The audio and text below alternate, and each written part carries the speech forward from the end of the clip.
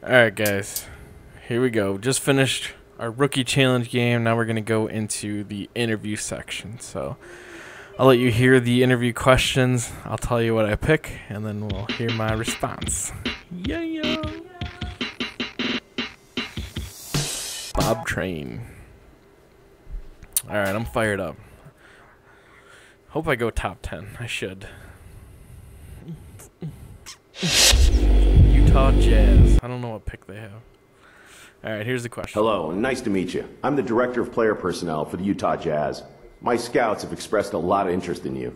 Before I can give my blessing to use our draft pick on you, I'd like to ask you a couple of questions, you know, to make sure you'd fit in with what we do here. We really feel like we have some nice young pieces in Derrick Favors and Al Jefferson. If you were to join the Utah Jazz, where would you see yourself fitting in with those guys? All right. I think I'm going to go with I'm to go with A. We would be dominant together. I really respect both of their games. I think given the chance to learn the pro game and learn their tendencies, we can definitely be a force to be reckoned with as a three-man unit. I'd be honored to play alongside them and the rest of the team. That's a nice politically correct answer. Let's see. One more question, if you don't mind. We realize that here in Utah, we don't have the appeal of a Los Angeles or a New York or Chicago. We tend to look for players who would be proud to be part of this organization. Someone who can really take pride in being a member of the Utah Jazz. Someone who's willing to spend their entire career as a member of the Utah Jazz. Are you that person? I don't really want to be a member of the Utah Jazz, but I'll say yes just because I want to get drafted. I would be honored to be a member of this organization. From everything I've seen, you guys have a great fan base in Salt Lake City. I'd love to lead this team for the next decade. Love it. Oh, hello, Azadin. That's great. Those answers were music to our ears. With any luck, you'll fall to us in Those the draft. All politically correct answers. Golden State Warriors. Hello, I'm the head scout for the Golden State Warriors. I want you to know that we're strongly considering you based on your performance tonight with our first round pick, 11th overall. We'd like to get to know you a little better before committing to you. I'm sure you understand. We have a couple of questions, if you don't mind. We really feel like we have a great piece in David Lee. We think that given a chance to develop, you and David can form a potent front line for this team. What do you think about that assessment?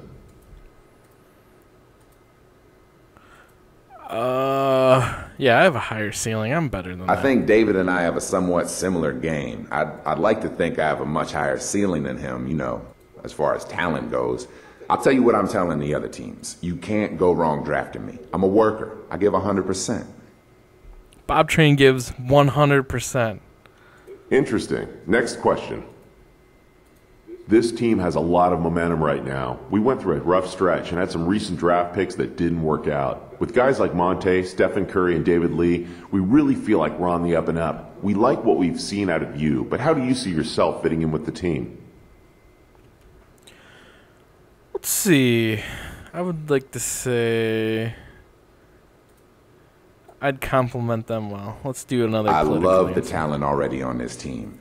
I don't understand how they aren't winning 50 games a season, to be honest. I really think I can complement these players and take the team to the next level. This team's a dream fit for me, man. Hell yeah! Thanks so much for your time. I don't want to get ahead of myself here, but we would be ecstatic if you're still on board when it's our turn to pick. Dude, seriously, a 7-2 guy should be top three pick. Seriously. Nice job out there tonight. Your play really impressed us, so much so that we're considering using our pick on you if you're available when our turn comes up. Before we get that far, we'd really like to ask you a couple of questions. Question number one. As a whole, the Suns have kept the same core for the better part of a decade. We found a winning formula and stuck by it, just rotating in supporting pieces where necessary. As I'm sure you've seen over the last year or so, we're in the midst of overhauling our roster. We really love the idea of you being a part of that process. What do you think about being a centerpiece for the new Phoenix Suns? Phoenix Suns. I like being called a centerpiece. Man, I love the idea that you consider me a centerpiece. That type of confidence in me, how can I not love the idea? I'm interested in making a name for myself in the NBA, and Phoenix sounds like a great fit to me. Hell yeah. All right, then, one more. Being in the NBA brings a lot of responsibilities, and some people just aren't ready for it, if you know what I mean. What are your plans once you get that first paycheck? Get the YouTube money. I'm gonna say take care of my parents because that's another politically correct answer. Easy answer. My parents have spent their entire life putting me into the position I'm in right now. I want nothing more than to take care of them and make sure that the rest of their lives are as carefree as possible. I don't need glitz and glamour. I just need my loved ones cared for. Beautiful answer, sir. Okay, I think I've heard all I needed to hear for now. You're definitely uh, someone we can use on our team. Now we just need you to be Better go available top when it's our turn to pick. Better go top 10. I'm gonna be mad if I don't. Draft time. I'll get to see what they think of me. Where am I gonna go in the mock draft? Better be top, top five. Twelve? Really?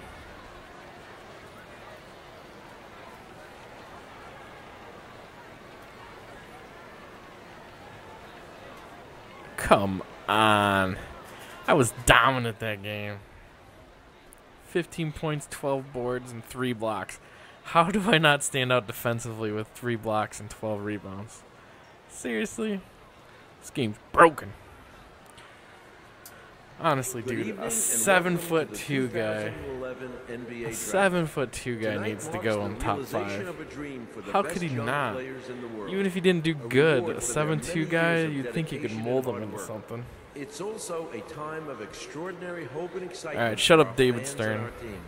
For Wish you could skip past this on retard. In more than 200 countries and territories. And of course, to all of our wonderful fans right here. Thank you for I heard us. this before. I know the young men Shut hoping up. to hear their names called tonight can't wait to compete against the best basketball players in the world.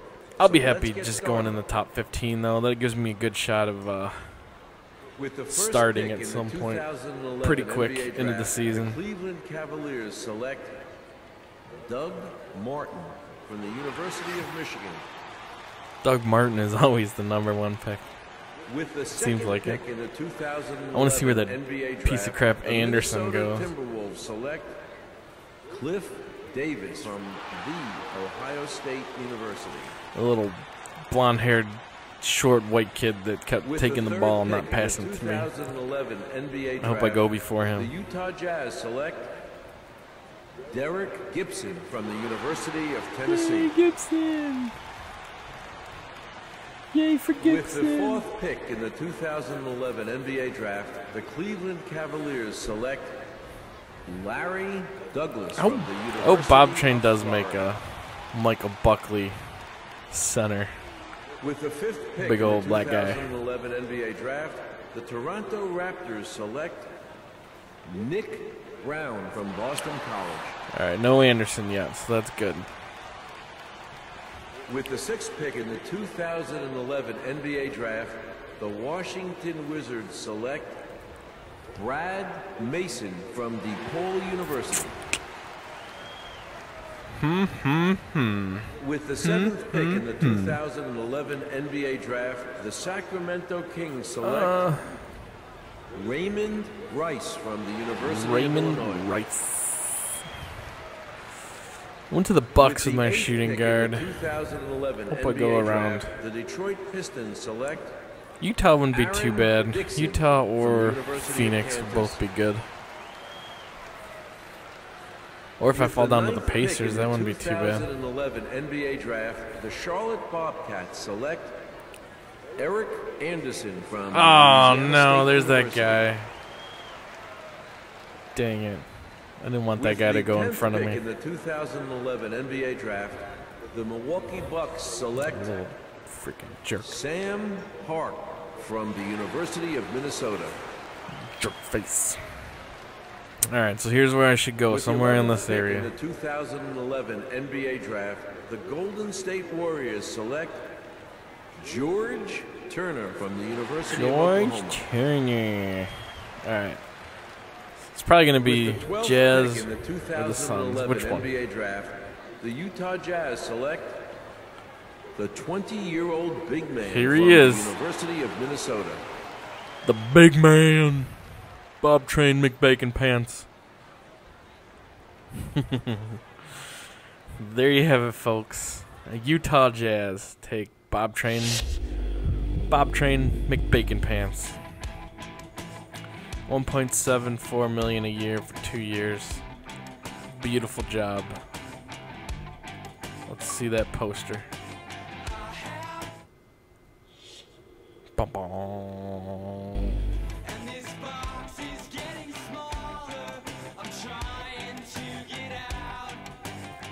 I guess they're not doing the poster this time.